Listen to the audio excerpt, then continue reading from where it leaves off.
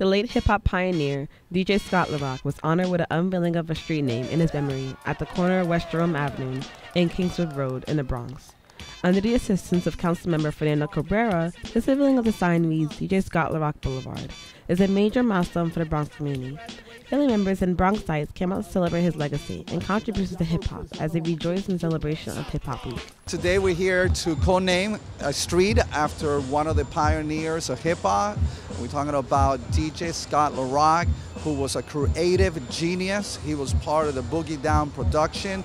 He was one of those pioneers in the field that put the Bronx in the map, who put hip hop in the map not only here in the United States, but all across the world.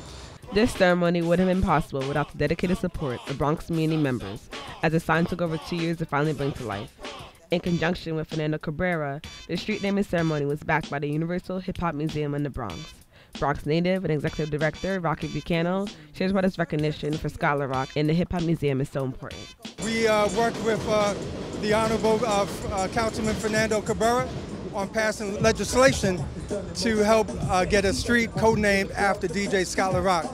The mission of the Universal Hip Hop Museum is to preserve and celebrate the, the legacy of our pioneers and, and the history of hip hop culture on a, on a global level. But today it's all about the Bronx. This street unveiling was full of a crowd that included direct members of Scott La Rock's family and childhood friends who were there during his journey to the success of the label Boogie Down Productions.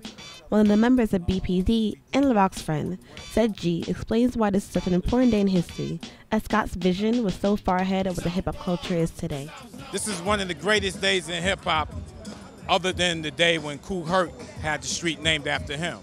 DJ Scott La Rock was just so far ahead of his time. All the things that people are doing today, the branding and all of that, this was Scott's vision back then in the late 80s. Commemorating his memory as a hip hop icon, the crowd continued to celebrate, as Scott's legacy will never be forgotten, with his name forever embedded for all to admire. This is Taylor Carter reporting for BronxNet.